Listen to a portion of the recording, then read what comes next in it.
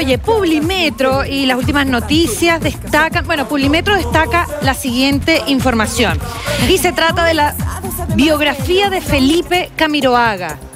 La biografía que promete revelar las 50 sombras de Camiroaga. ¿Y de qué se trata esto? Pues Sergio Paz, periodista, ha realizado una investigación sobre detalles de la vida del fallecido animador de televisión y en esta entrevista eh, publicada en la revista Cosas, por ejemplo, asegura que sería como el protagonista de las 50 sombras de Grey a la chilena. Oh. Esta novela erótica. Todo el rato, fíjate. Que te, te devoraste Sí, en coincido, con- 48 fíjate, horas. con- coincido con Paz. Me imagino a Camiroaga como Christian Grey. ¿Sí? Sí. Bueno, demasiado joven lo definen. Es el nombre de la biografía que saldrá publicada en el mes de septiembre y que detalla aspectos desconocidos, desconocidos del enigmático Felipe Camiroaga. Demasiado joven, me imagino que el título ¿no? se debe porque, claro, falleció a una edad demasiado. Es que sabéis que lo Temprana. y no lo puedo creer. Sí, es impresionante. El periodista Sergio Paz es el encargado de la investigación y redacción de un libro que daría detalles de un personaje al que califica como irrepetible. La fascinación por Felipe surgió tras investigar el accidente de Juan Fernández que le costó la vida el pasado 2 de septiembre del año 2011 y de ahí en adelante comenzó una serie de entrevistas que han dejado al descubierto una personalidad que no todos tuvieron la oportunidad de conocer.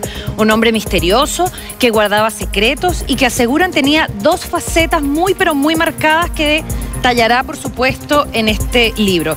Y otro aspecto que promete dar a conocer es su faceta sexual. Wow. Y aquí es donde entramos en el meollo del asunto, porque dice... Literalmente. Exacto. Dice Sergio Paz que Felipe estaba muy lejos de ser gay, porque además como que se había em, elevado este rumor, Era como un mito claro, como un un mito mito. urbano acerca de la bisexualidad supuestamente de Felipe Camiroaga.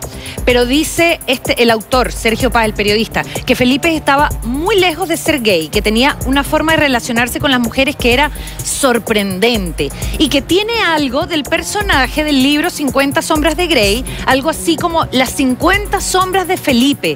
Su historia estará llena de un juego sexual de dominio y de silencio, porque ejercía una extraña dominación sobre las mujeres. Fíjate que y bueno, parece. y no es curioso, eh, no deja de ser curioso, digo, que las mujeres que estuvieron formando parte de este círculo cercano de Felipe Camiroaga Nunca siempre se, nada. mantuvi- se mantuvieron mutis. Claro.